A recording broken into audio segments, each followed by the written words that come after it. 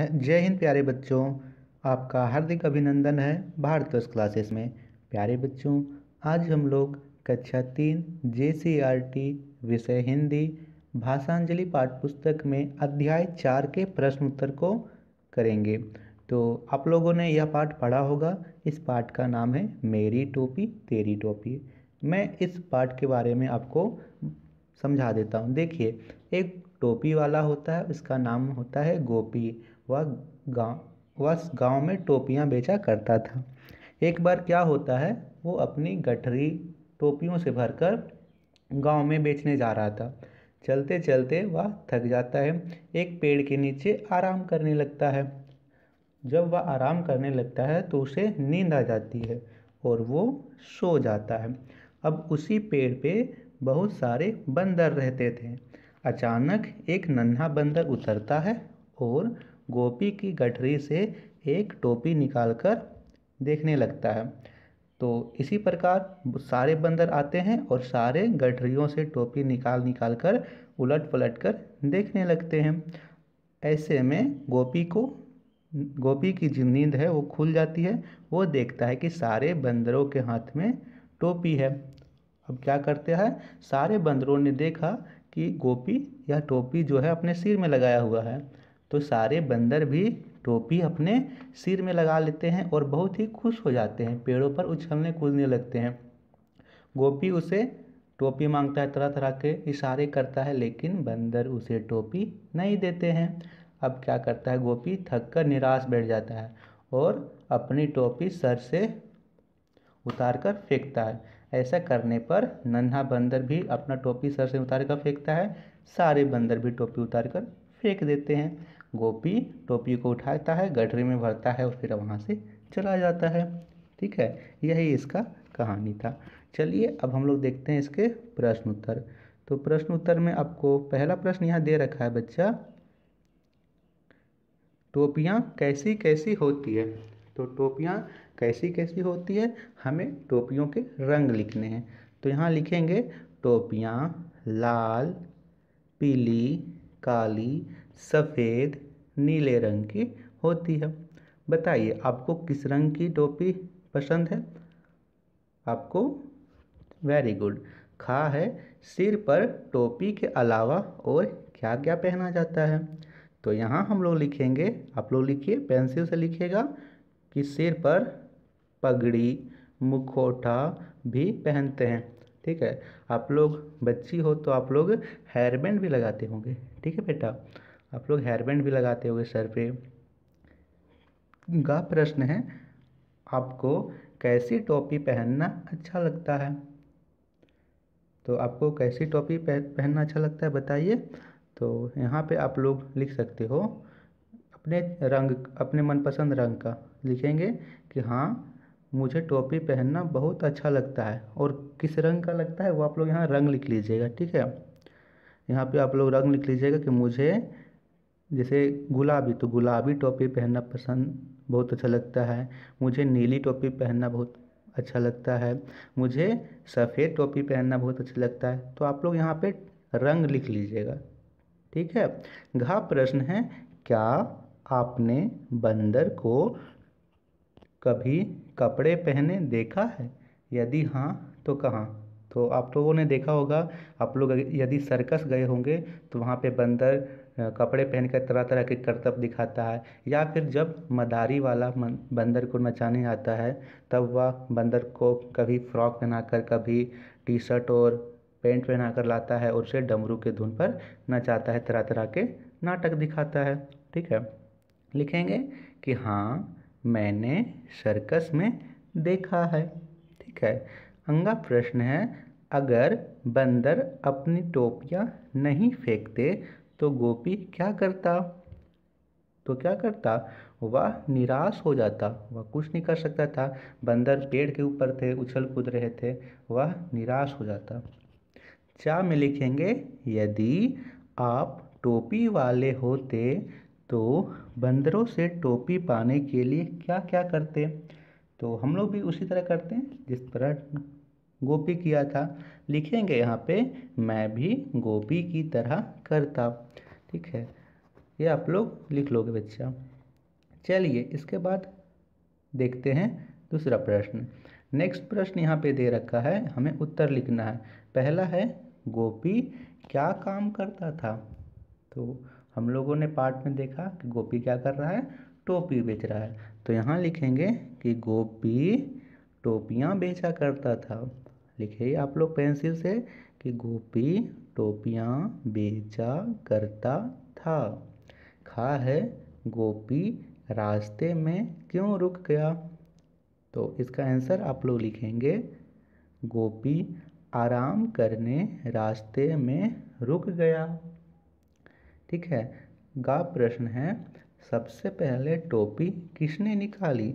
तो सबसे पहले किसने निकाली थी? नन्हे बंदर ना? तो लिखेंगे यहाँ पे, नन्हे सबसे पहले नन्हे बंदर ने टोपी निकाली। ये लिखिए, सबसे पहले नन्हे बंदर ने टोपी निकाली। घा प्रश्न यहाँ पे है, गोपी ने अपनी टोपियाँ बंदरों से कैसे वापस ली? तो कैसे वापस लेता है वो? लिखेंगे यहाँ पे, गोपी ने अपनी टोपी सिर से उतारकर फेंक दी। बंदरों ने गोपी की नकल करके अपनी अपनी टोपियाँ ज़मीन पर फेंक दी और गोपी को टोपी मिल गई। ये आपको लिखना है। फिर से मैं पढ़ दे रहा हूँ। गोपी ने अपनी टोपी सिर से उतार कर फेंक दी। बंदरों ने गोपी की नकल कर कर अपने अपनी टोपियाँ ज़मीन पर फेंक दी और गोपी को टोपी मिल गई। ये लिख लीजिए बच्चा। इसके बाद नेक्स्ट प्रश्न है यहाँ पे दे रखा है कि हमें रिक्त स्थान को भरना, यहाँ पे कुछ शब्द दिए गए हैं। इन शब्द को यहाँ पे हमें भरना है। गोपी शहर से लाकर गाँव में बेचता था। तो गोपी शहर से क्या लाकर बेचता था? बताइए। टोपियाँ वेरी गुड भरेंगे, टोपियाँ लाकर बेचता था। थोड़ी देर में गोपी को आ गई। तो थोड़ी देर में गोपी को क्या होता है? जब वह बेड के नीचे होता है, उसे नींद आ गई। अब नींद कहाँ? ये देखिए, यहाँ पे नींद है ना? तो इसे यहाँ पे भर देना है।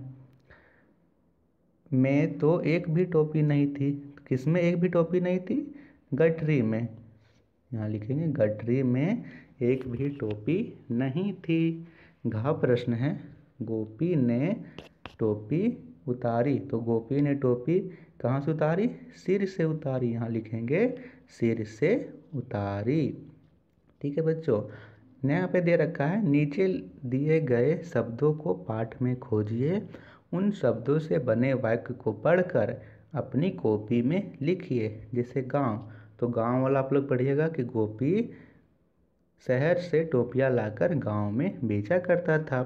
नन्हा तो नन्हा बंदर टोपिया लिया। गठरी, उसने गठरी सिर से उतारी। छाँव, वह पेड़ की छाँव में लेट गया, इकट्ठा। बहुत सारे बंदर इकट्ठा हो गए। तो यहाँ से आप लोग पाठ से खोज कर इसे लिखना है। इसके बाद आगे प्रश्न दे रखा है यहाँ पे। हमें यहाँ से लिखना है। जैसे आप लोग देखिए यहाँ से कि डा और डा यहाँ से मिल गया है ली में। तो डा और ली क्या हो गया? डाली।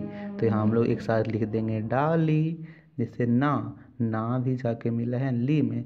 तो ना और ली क्या हो गया? नाली। वेरी गुड बा और ली क्या हो गया? बाली। खा और ली क्या हो गया? खाली। का और ली क्या हो गया? काली। जा और ली, क्या हो गया? जाली। ता और ली, क्या हो गया? ताली। था और ली, क्या हो गया? थाली। तो यहाँ से आप लोग भर लीजिए। डाली, नाली, बाली, काली, जाली, ताली और थाली। आप लोग भर लीजिए बच्चों।